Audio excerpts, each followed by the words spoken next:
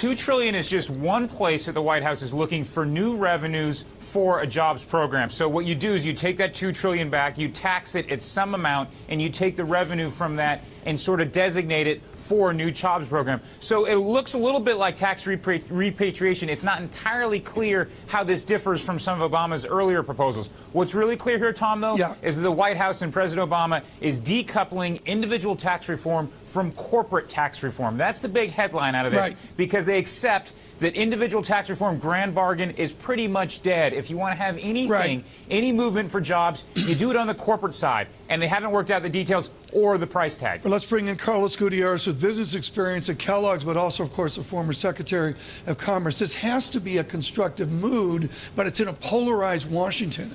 Can anything get done? Well, it, you know, again, they're trying to raise revenues which is the last thing I think the, the, the, government needs.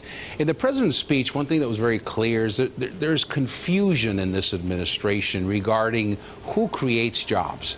They think, they really do think that the government's role is to create jobs. So, and, and it's a one-dimensional idea. We've got to do a stimulus, roads and bridges. It, you know, it, there, there's, there's no economic creativity, and I, and I do believe there's a fundamental misunderstanding of how the economy works. Well, Hans Nichols, why don't you respond to that? You've been covering this White House since President Obama came yes. in in the first term. Sure.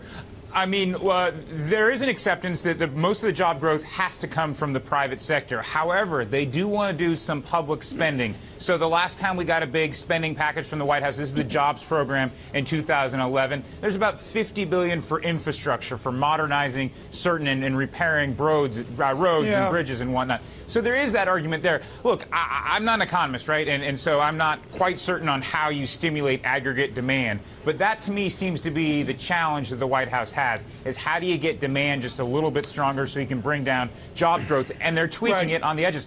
But there's a recognition. You, you, need the Fed for a lot of this stuff. Congress is stuck. So this is this is very okay. marginal. Let's not talk about this as a big plan.